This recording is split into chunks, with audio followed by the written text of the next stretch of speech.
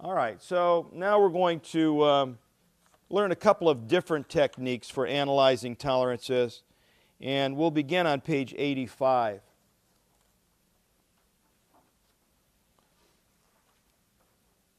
Notice on page 85 we've got a piece of a crankshaft assembly that shows the crankshaft, the coupling, the flywheel, a few bolts to hold the whole thing together. And we're going to do something simple to begin this uh, so I can show you these two techniques and then we'll switch later on and use a more complex version of this and then we'll do something that's much more complicated. But on this one I just want to show you the techniques. The geometric tolerances are on page 86. So we'll start with all of that. One of the things that we have to do is filter out the non-factors and of course only work with the things that are factors.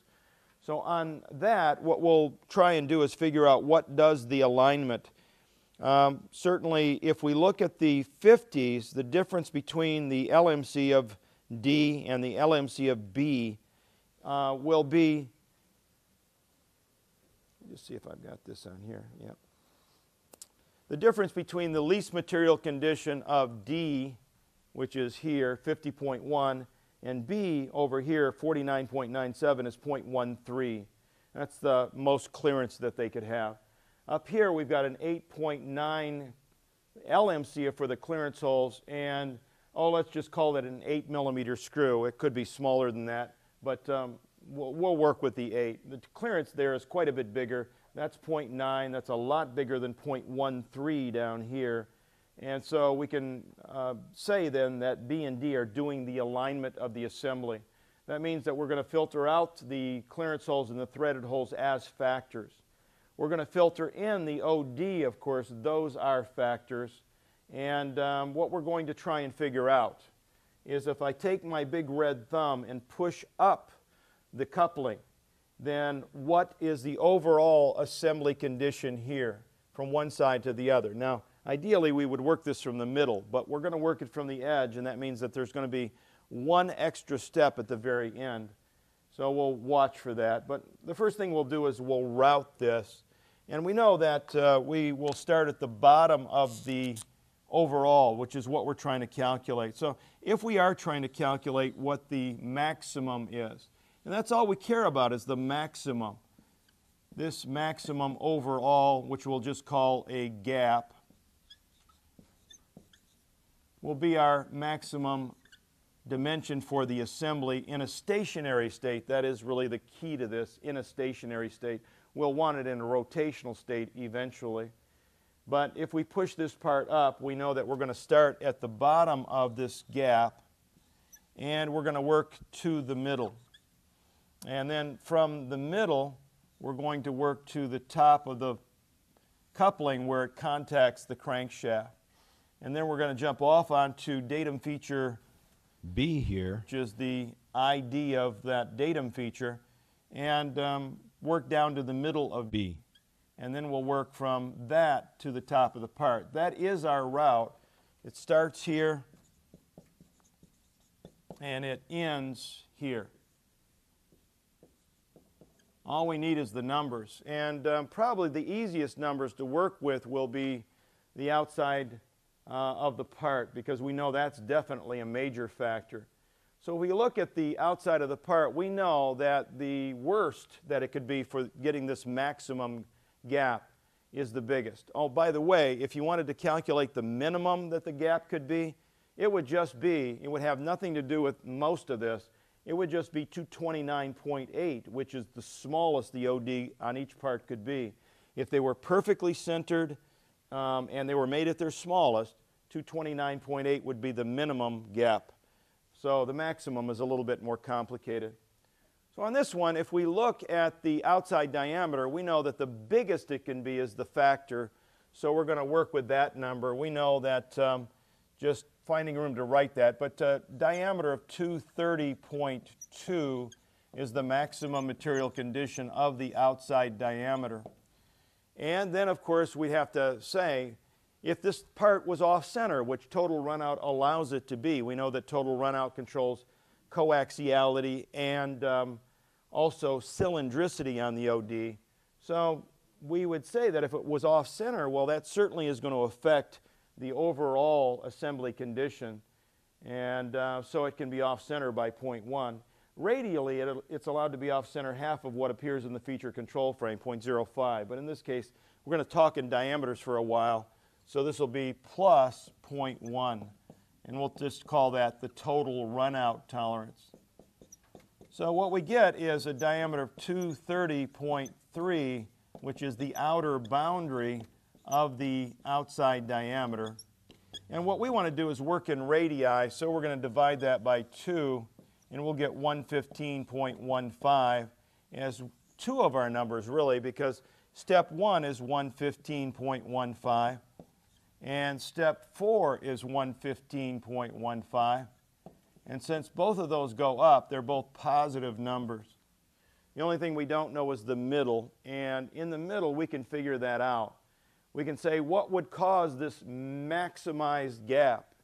If we look at D, the biggest that hole could be would be the most that I could shove the mating part up and have this edge overhang this edge. So I'm going to work with 50.10. So 50.10 is the least material condition of D. Now, it's got a perpendicularity control on it, but if it was out of perpendicularity, the fit would actually not be looser, it would be tighter. And the reason is we're riding on A and C. So I'm just trying to draw why the perpendicularity is not a factor in what we're trying to calculate. What we could say is that we've got this part and of course, this part is the part that has that um, datum feature D on it. And let's just say that it's perfectly perpendicular. And we know that over here somewhere, there's the mating part with B on it. So let's just extend this over. And there's a shaft, which is called B. And if we push this part from the back with some sort of big thumb, Eventually this fits into that hole. And then if we push it up, then of course it's going to slide up here, the clearance, and this is going to slide up and overhang that. Now that's if they're perfectly perpendicular. If it's out of perpendicularity a bit, and let me show D being out of perpendicularity just a bit, then since we're riding on A and C, in other words, we're bolted to A and C, then if I try to insert this and then push it up, it's going to hit much more quickly right there. And that means that the perpendicularity, if it's included, will not be the um, maximum, will not get us the maximum gap.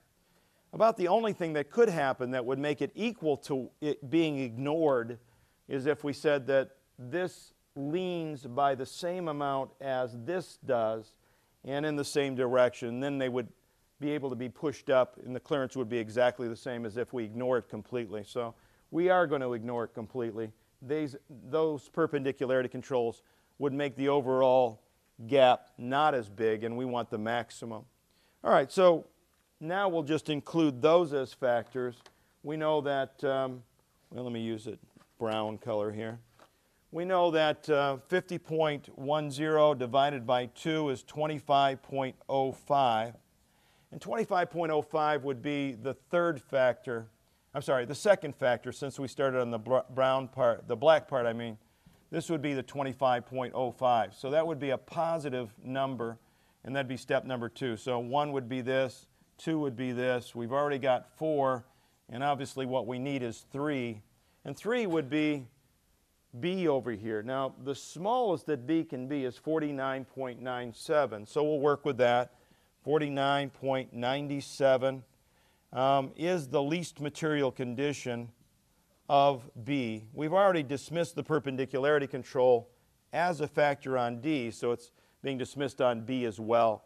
So if we divide this by 2, we'll get 24.985. Would somebody double check me on that?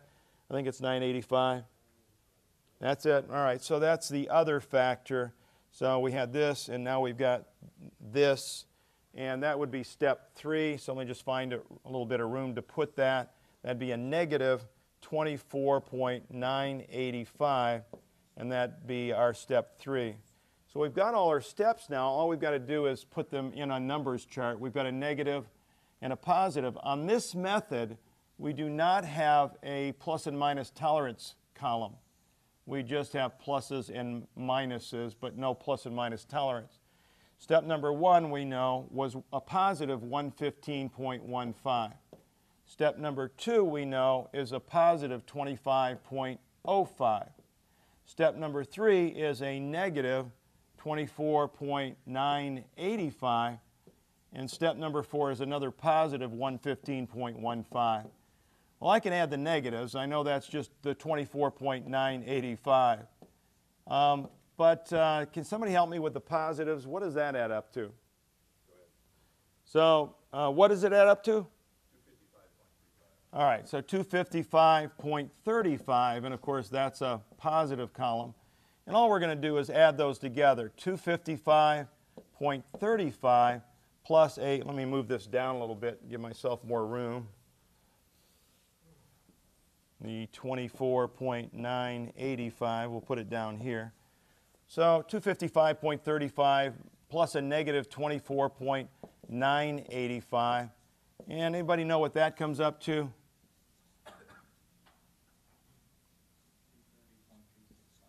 230.365. This would be, in fact, the maximum overall dimension while stationary.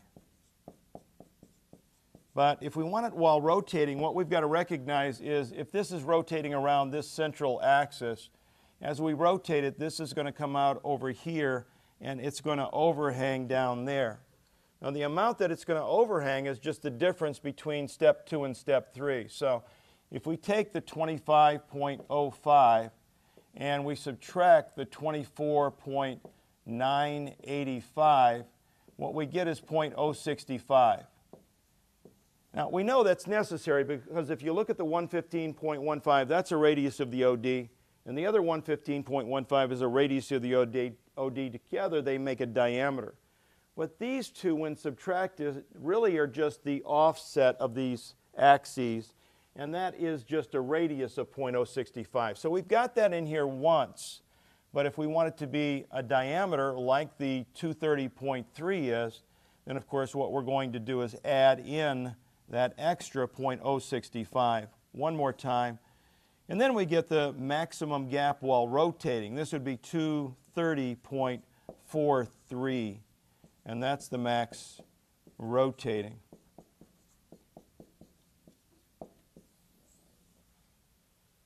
Any questions about that one? Please ask them if you have them. All right. That's actually my favorite method. We're going to use that a lot when we get to chapter 9. But let me show you another one that could be used to double check that answer since we've got all the numbers already. This will only take a moment. We're here and we work up to here, the center line of the uh, OD, let's call it. That'd be a positive 115.15. And then we work from the center line of the, of the uh, D feature to the center line of the B datum, and uh, we get uh, 0.065. We already know they're offset by that much. When I showed it over here, notice I ignored the fact that they were offset, and I got the fact that they were offset by the difference between these two numbers in the numbers chart. Over here, I'm just going to show the offset. And then we work from the middle of that to the top of the part, and we get another positive. All three of these numbers are positive, by the way 115.15.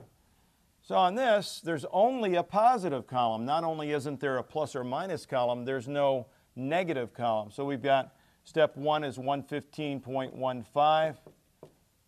Step two is 0.065. And step three is another 115.15. And so if we add these only, we get 230.365. And again, that's what we got before, and this is the max while stationary. But if we want it while rotating, all we've got to do is add in that 0.065 again. And not surprisingly, we would get a diameter of 230.43. And that would be the max while rotating. So, two methods to add to the method that we've been working on for the last day or so.